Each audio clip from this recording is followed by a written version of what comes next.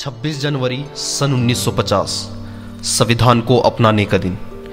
आज के दिन हम लोगों ने संविधान को अपनाया, जिसे डॉक्टर भीमराव अंबेडकर ने लिखा। लेकिन क्या आप जानते हैं इस संविधान को लिखवाने के पीछे कितने वीरों और कितने महापुरुषों ने अपनी कुर्बानी दी है?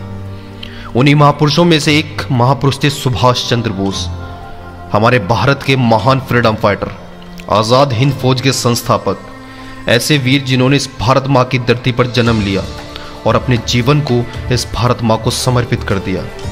ऐसे महावीर पर मैंने एक कविता लिखी है। पसंद आए तो लाइक और शेयर ज़रूर करना। आज़ादी से जीने की जो बात हमें सिखलाते हैं। आज़ादी से जीने की जो बात हमें सिखलाते हैं, ऐसे वीर धरती पर युगों युगों में आते हैं। पता था उनको, पता था उनको आज़ादी का आनंद हम नहीं ले पाएँगे। लेकिन आज़ादी की खातिर फिर भी वो लड़ते जाते हैं। कर दिए गुलाम मुल्क में खड़ी अपनी आज़ाद सेना। कर दिए गुलाम मुल्क में खड़ी अपनी आज़ाद सेना। ऐसे ही नहीं नेताजी, इस युग में युग पुरुष कहलाते हैं। डरती थी ब्रिटिश सरकार उनकी हुंकार से। डरती थी ब्रिटिश सरकार उनकी हुंकार से। उनकी याद में हम यूँ ही नहीं पराक्रम दिवस मनाते हैं।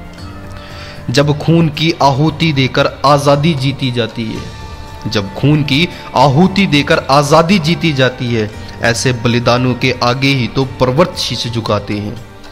और आखिरी पंक्ति कुछ इस तरह है, अपने बलिदानों से वो लिख गए इतिहास नया। अपने बलिदानों से वो लिख गए इतिहास नया। पढ़कर उनकी वीर गाथा हम फूले नहीं समाते। पढ़कर उनकी वीर गाथा हम फूले नहीं समाते। वीडियो पसंद आए ना तो लाइक ज़रूर कर देना दोस्तों। ऐसे ही वीडियो पाने के लिए हमारे चैनल को सब्सक्राइब ज़रूर करना। Thank you for watching